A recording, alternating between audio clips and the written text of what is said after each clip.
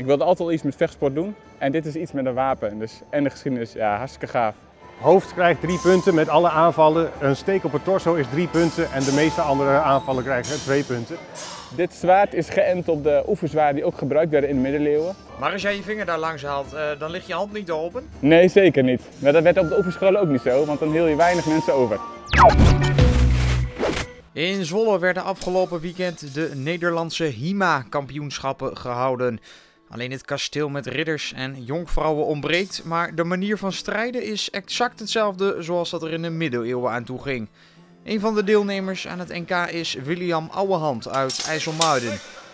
Een dikke gewatteerde jas, stevige handschoenen, elleboogbescherming, helm, keelbescherming. Er komt genoeg eh, bescherming bij kijken, ja. Het ziet er misschien allemaal wat lijp en gevaarlijk uit, maar volgens William hoeft dat niet per definitie zo te zijn. Daarom dragen we al deze bescherming. We hebben bij elk gevecht de vechters ook een coach. En die zorgt ervoor dat we niet in de emotie gaan.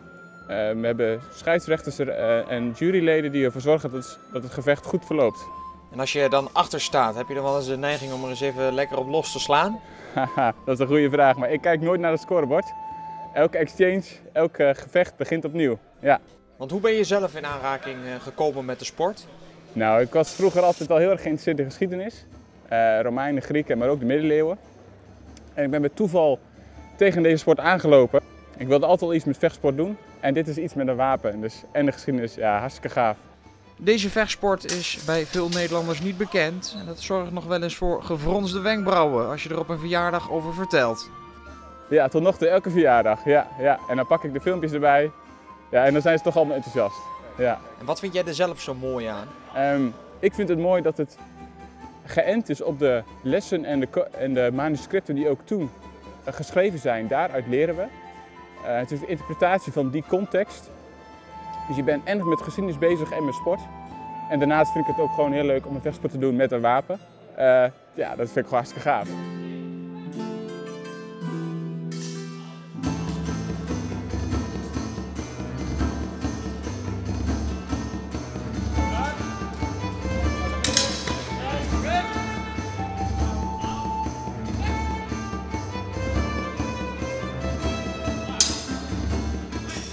Ja, want die zwaardtechnieken die vandaag de dag worden gebruikt zijn vaak al eeuwen oud.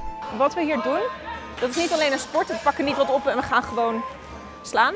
Het is echt ehm, gebaseerd op wat ze vroeger ehm, in vechtschulen, waar ze gingen opleiden tot een historisch duel doen, eh, hebben geleerd. Dus het staat opgeschreven in geschriften. Het zijn vaak in oud-Duits of als we ergens anders vandaan komen in een andere taal.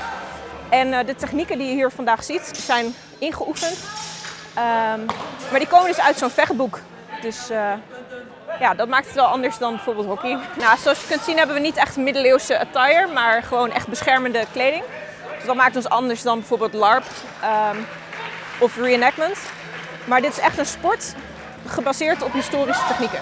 Kijk, kijk, doe je het zelf ook? Ja, zeker. Ja? Ja, ik eh, doe het zelf al negen jaar. Eh, ik doe alleen deze keer niet mee omdat ik dit jaar zwanger ben, dus dat mag niet. Ehm, maar ja, ik vind het enorm leuk en ik ga nooit meer stoppen.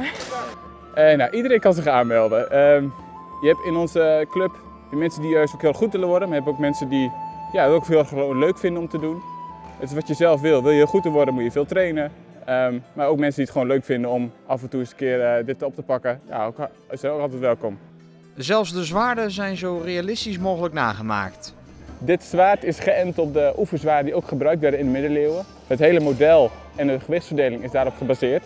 Dus dat maakt het inderdaad leuk dat we hiermee trainen, zo ook in de middeleeuwen. Maar als jij je vinger daar langs haalt, eh, dan ligt je hand niet open? Nee, zeker niet. Maar dat werd op de oefenscholen ook niet zo, want dan hield je weinig mensen over. Ja. En is hij ook zwaar? 1,3 kilo. Dat is niet heel zwaar.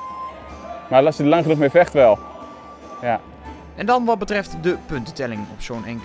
Dat gaat als volgt in zijn werk. Het toernooi van vandaag kent een gewogen puntentelling. Hoofd krijgt drie punten met alle aanvallen. Een steek op het torso is drie punten en de meeste andere aanvallen krijgen twee punten. En die worden bij elkaar afgetrokken als je eh, niet erin slaagt om een schone treffer te maken. Ja, precies. En eh, stel, ik win vandaag dat NK, zijn er dan ook nog vervolgtoernooien? Zeker, want het is vandaag de eerste van drie in het NK-circuit. Dus je kunt vandaag de prijs van Zwolle winnen. Maar vervolgens de overall eh, titel, die wordt pas aan het einde van het jaar beslecht. Op een NK kun je meedoen wanneer eh, je enige ervaring hebt. Eh, meestal al binnen de club en boven de 18 jaar. Kijk, kijk, kijk. En welke, welke gemeenschappelijke passie delen jullie hier met elkaar? Geschiedenis, contactsport, gezelligheid. Bottomline, het moet leuk zijn. Daar gaat het om, ja zeker. Ja.